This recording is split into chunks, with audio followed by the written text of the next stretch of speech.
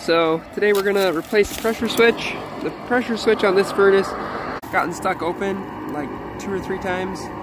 As you can see right now, uh, the furnace is actually working. But you always want to check your vent before you check your pressure switch because if there's debris in there, or ice or anything like that, oops, uh, that can cause the pressure switch to not open and close properly. So you gotta verify that you've got good airflow, which we, we definitely do here.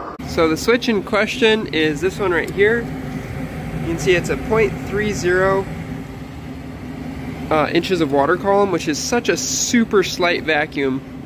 And what we want to do is verify that we're actually getting that vacuum. Obviously, we are because it's satisfied. If I unplug this though,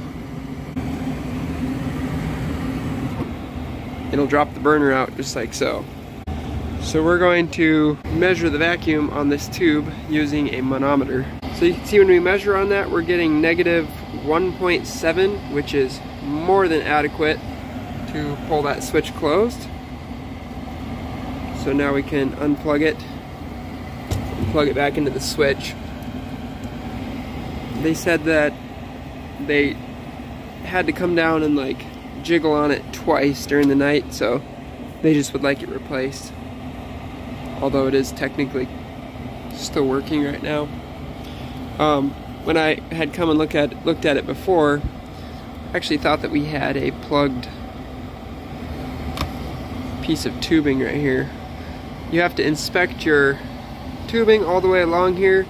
If it's cracked or loose or has any kind of restriction, including in this nipple that goes through into the combustion blower, then you can end up having uh, the pressure switch is not reliably open and close. This system actually has three. One that interrupts the common side of the gas valve here. That one is a 0.10. And then they have a pair. They don't always have a pair. Sometimes they're just two. Sometimes they're just one pressure switch. This one is a 0.75 and that one is a 0.30. So one is a high fire pressure switch and one is a low fire pressure switch. So you can see it's gonna go ahead and light. Right now I'm guessing it's running in the low stage.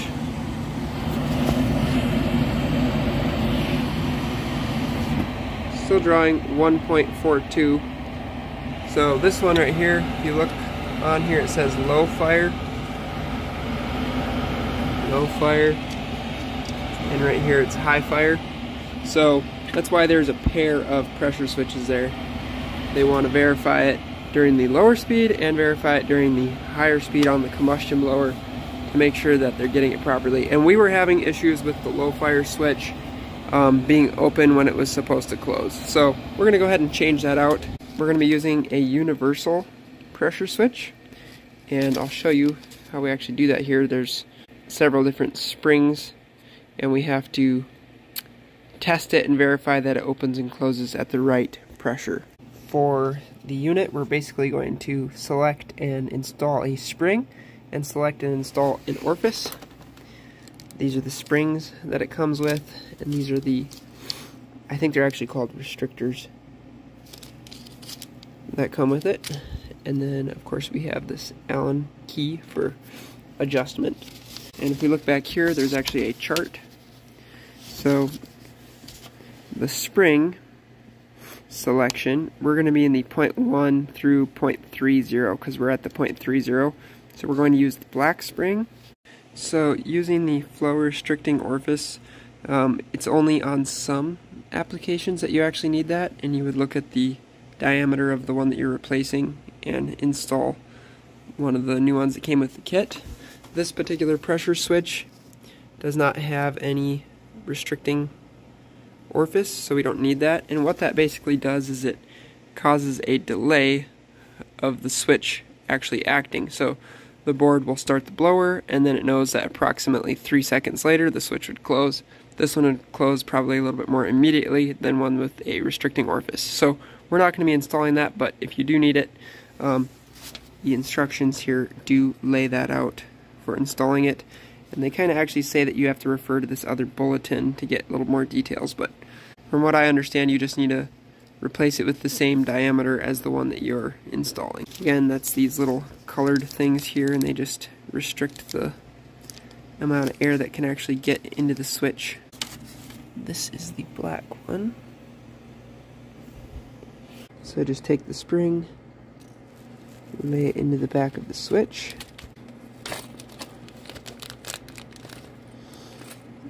Then you take the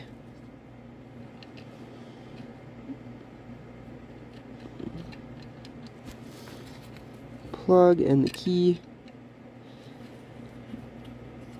And you just get this started. You can see this is the normally closed position. This is the normally open position. It said that it's going to be in the normally open position when you start off and you have to tighten this down until it switches. So with that tightened down that amount, we now know that the normally closed switch is closed the normally open one is open. So that's our baseline now for adjusting this. So you now need to have the manometer teed onto the line. You have to have the switch in the vertical position like this. Um, and you don't want to have them super different like distances. You want to have them pulling you know about the same distance so that the pressure reading is pretty accurate. And now we can turn on the combustion blower and we'll check the contacts between here and here. We should have nothing.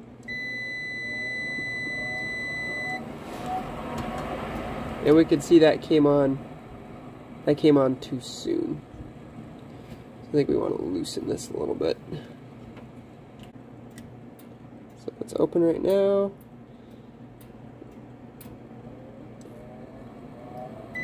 There we go. test it one more time here. But see, I'm just checking continuity between these two here. So it's still closed, still closed, still closed. Once the blower stops and it stops moving air, it should reopen. Right there, it reopened. Go ahead and turn this on. Whoops. Just checking between these contacts here. There it is. So you saw how once we went past our proper um, rating on our old switch of 0.3, that's when the switch closed and that's what we want. So now we'll get this mounted up in there. It does need to be in this position. And you could put a glob of hot glue on the back in case uh, you don't want anyone to change the adjustment. I usually don't worry about that because it doesn't seem to have ever been a problem for me of people doing that. The terminals on here are the wider style and the ones on our existing switch are the narrower style. So you would actually have to change the ends of these, but I'll show you what I actually prefer to do. Um, the instructions don't say to do this, but this is what I typically do. Uh, I just take my tin snips and I get on the switch and I just cut not all the way through, but I just cut like a, a slot like that. And then it's actually really nice for troubleshooting because you can put your testers onto these little probes that stick out. So I just leave them like that. And now we can, now we can actually plug these terminals right back on here. And I actually like to leave the old pressure switch in the unit so that someone else can see what size was supposed to be there in case it ever comes out of adjustment or something. But yeah, we'll go ahead and get this all neatly tied up there and then uh, confirm that the furnace is working as it should. They actually do send with the kit a couple of adapters for mounting it in there and some screws. In this case, the old switch is mounted to this other switch that is still being used, so I've just got both of those there, and then they can tell kind of what's going on. Uh, they, as in another service technician can tell what's going on. Oh, I actually put this on the wrong terminal. I need to put this one over onto here, onto the normally open. Now here we'll go with the startup. Heard the switch close. And so it should go right into an ignition sequence.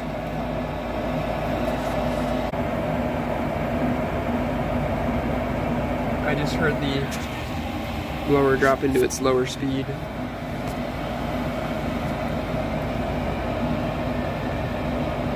And I already pulled and cleaned the flame sensor and did a clean and tune, checking all the condensate tubing and all of that um, previously to make sure it wasn't something else affecting this switch up in here. But uh, yeah, that should take care of it. So it does take some kind of unique tools in order to get this installed properly.